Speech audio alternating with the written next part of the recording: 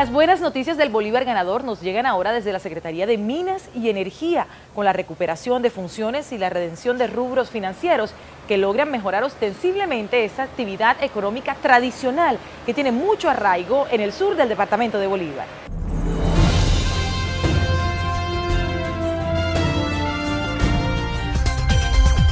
Recursos económicos correspondientes a funciones de delegación minera fueron recuperados por la administración del Bolívar ganador gracias a ingentes esfuerzos adelantados por la Secretaría de Minas y Energía y el Departamento Administrativo Jurídico de la Gobernación de Bolívar.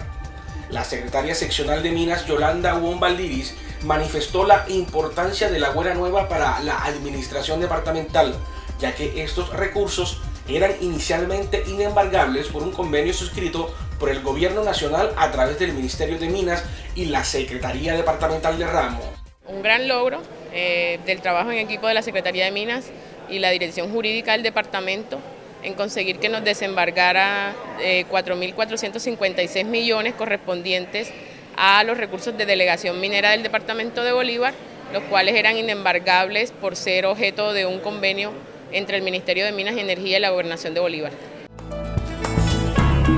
Los 4.456 millones de pesos entrarían a sustentar proyectos relacionados en el Plan de Desarrollo del Bolívar Ganador en su componente minero energético, mencionando algunos como de la mina a la escuela, talleres de asistencia técnica en minería sostenible y responsable, capacitaciones dirigidas en seguridad e higiene industrial y fortalecimiento minero. Los recursos fueron embargados por un proceso ordinario laboral que se seguía contra la Secretaría de Educación del Departamento de Bolívar y que no correspondían a los recursos que se capturaron de la delegación. El gobernador Juan Carlos Gozaín celebró el trabajo de estos ocho meses de gobierno en los cuales la tarea fue hacer la gestión correspondiente, cumplir con los requerimientos y los requisitos establecidos por el Ministerio de Minas para así alcanzar este nuevo logro administrativo. Durante estos primeros siete meses de gobierno nos pusimos a la tarea para hacer la gestión, cumplir con las tareas, con los eh, requisitos establecidos por el Ministerio de Minas y la muy buena noticia es que esta es, este es otro de los nuevos logros que obtenemos, recuperar la delegación minera.